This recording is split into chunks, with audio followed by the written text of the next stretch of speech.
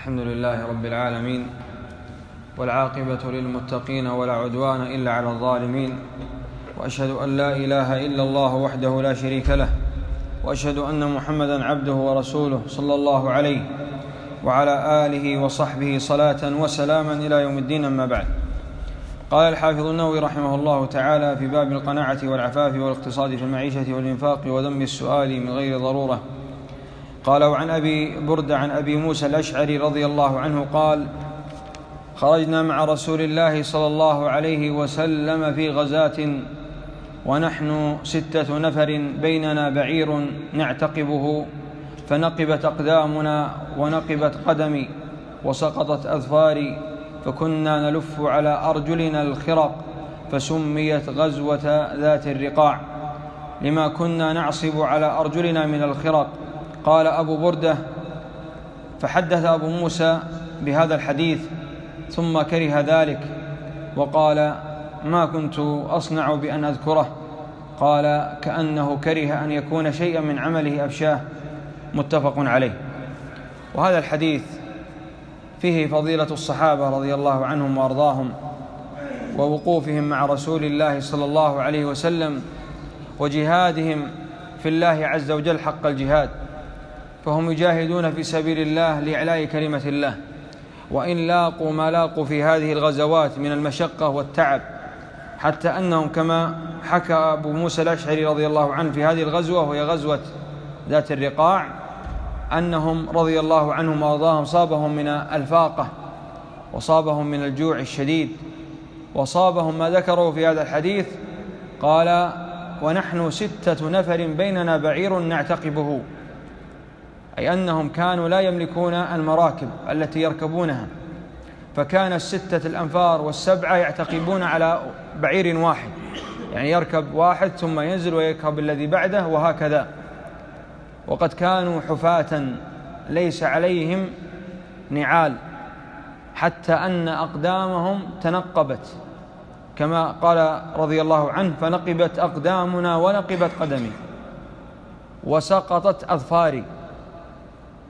لحرارة الأرض التي يمشون عليها. ومع ذلك صبروا حتى ظفروا. وسميت هذه الغزوة غزوة ذات الرقاع بهذا الاسم لأن الصحابة رضي الله عنهم لفوا على أرجلهم من الخرق فسميت بهذا الاسم. وهي غزوة وقعت في السنة الرابعة على الصحيح من أقوال أهل العلم. فلما حدث بهذا أبو موسى الأشعري رضي الله عنه وأرضاه وذكر ما كان عليه الصحابة رضي الله عنهم وهو معهم في هذه الغزوة كره أنه حدث بهذا الحديث لأنه خشي أن يكون هذا من باب المرآة أو أن يدخل على قلبه شيء من هذا الأمر. فقال رضي الله عنه وأرضاه ما كنت أصنع بأن أذكره أي أذكر هذا الأمر. وهو رضي الله عنه ما ذكر ذلك رياء ولا سمعة ولكنه خاف عندما ذكر هذا العمل أن يدخل عليه الرياء. وهذا في حرص الصحابة رضي الله عنهم على كتم الأعمال. لأن الأعمال إذا أظهرت فإن الشيطان يدخل على صاحبها مداخل كثيرة حتى يغير نيته فيفسد عليه عمله. فالأصل في الأعمال أن يخفيها المرء. الأصل في الأعمال أن يخفيها المرء إلا ما اقتضت الحاجة والمصلحة أن يظهر هذه الأعمال ليقتدى به أو أن تظهر الشعائر ونحو هذه المصالح التي من أجلها يظهر العبد هذه الأعمال الصالحة. ومن عرف ما قاله أبو موسى الأشعري وما عليه الناس اليوم من التظاهر بالأعمال الصالحة حتى الأعمال الخاصة كقيام الليل وكالصيام وكالعمرة ونحو هذه الأعمال التي يظهرونها الآن في وسائل التواصل عرف الخطورة التي عليها الناس اليوم. خطورة عظيمة. يصوم وينشر ذلك في وسائل التواصل. يصلي الليل وينشر ذلك في وسائل التواصل. يذهب إلى مكة ويصور في وسائل التواصل. ماذا بقي لله؟ أين الأعمال الخفية؟ أين الخبيئة التي بينك وبين الله؟ الأعمال الأصل فيها الخفاء. إلا ما اقتضت المصلحة فعلى الإنسان أن يحذر على نيته وتقلب قلبه فإن القلوب بين أصبعين من أصابع الرحمن. إذا أراد أن يقلب قلب عبد قلبه فهذا أبو موسى وهو رضي الله عنه وأرضاه من أكابر الصحابة.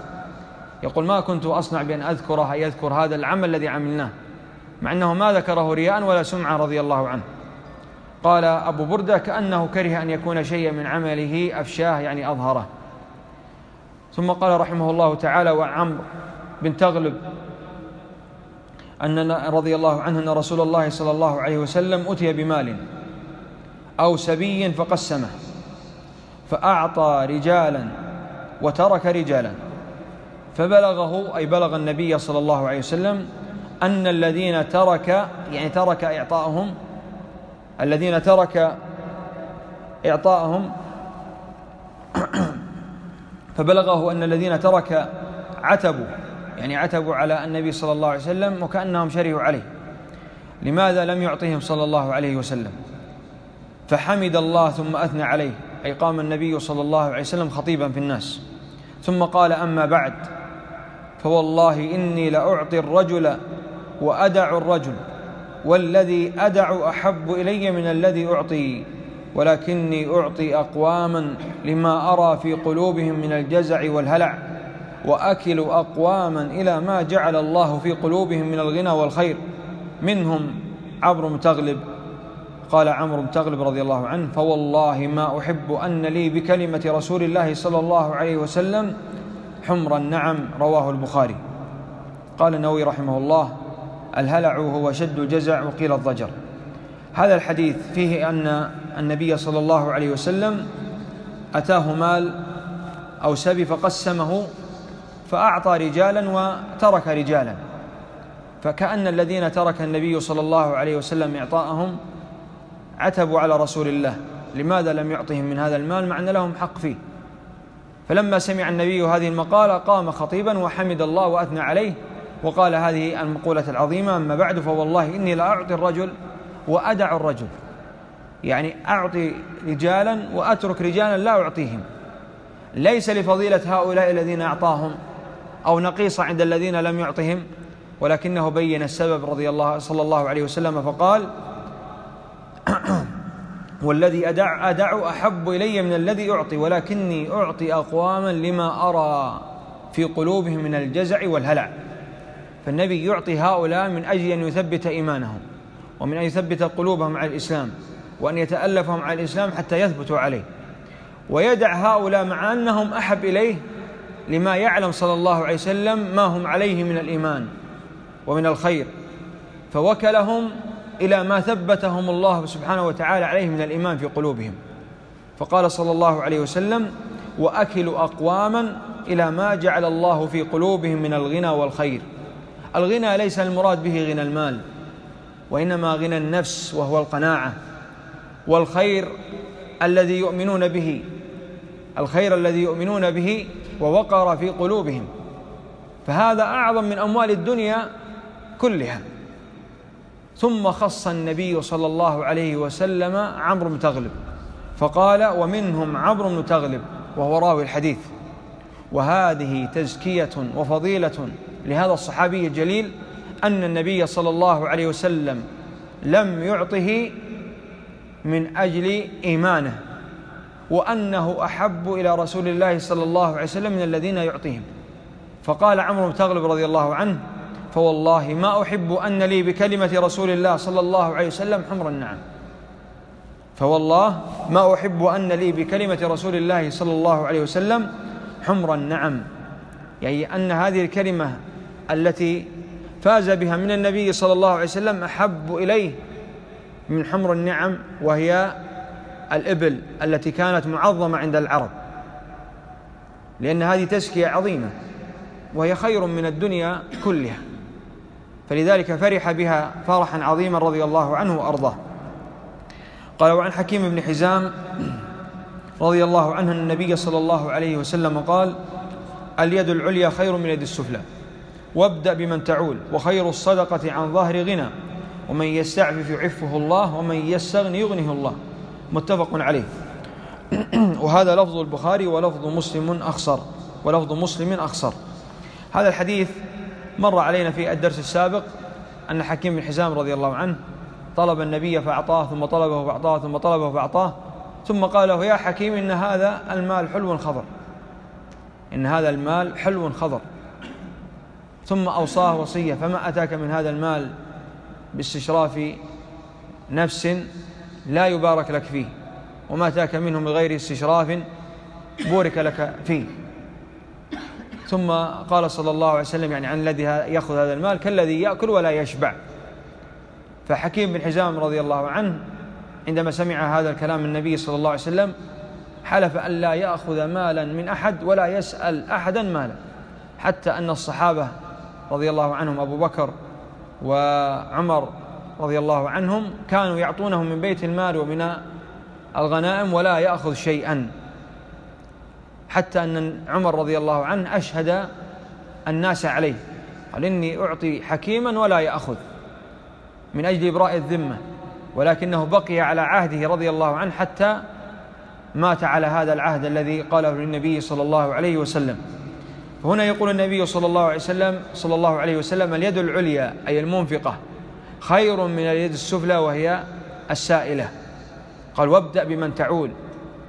وهذه قاعدة مرت علينا كثيرا في حديث الرسول. ابدأ بمن تعول يعني في النفقة عليك بالنفقة الواجبة أولا ثم المستحبة. فلا يصح أن المرء يضيع عياله ومن يعولهم ويذهب ويتصدق. أعظم الصدقة وأعظم النفقة على أهلك وعلى من تعول. فإذا فضل شيء مما دفعته إلى من تعول تصدق به ولا بأس بذلك. ولذلك قال النبي صلى الله عليه وسلم وخير الصدقة عن ظهر غنى. خير الصدقة عن ظهر غنى. والمراد بظهر غنى أن الإنسان إذا أنفق على أهله ثم فضل مالا ثم فضل مال فإنه يتصدق به. وقيل في معنى قوله صلى الله عليه وسلم وخير الصدقة عن ظهر غنى أي أن الصدقة التي تدفعها لا تؤثر على مالك بحيث يبقى عندك مال تصرفه على أهلك. والحديث يحتمل هذين المعنيين. قال ومن يستعفف يعني أموال الناس يستعفف عن الحرام يعفه الله. الجزاء من جنس العمل. ومن يستعفف يعني أموال الناس لا يأخذها ولا يسألها ويستعفف عن الحرام فلا يقع فيه يعفه الله. والجزاء من جنس العمل. قال ومن يستغني يعني يستغني بالله ويظهر الغنى مع أنه محتاج يغنيه الله سبحانه وتعالى.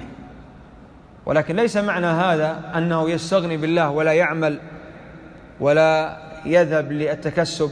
هذا تواكل. لا يستغني بالله ويعمل حتى يصرف على أهله ويصرف على من يعول. هذا والله أعلم. وصلى الله وسلم على نبينا محمد وعلى آله وصحبه أجمعين.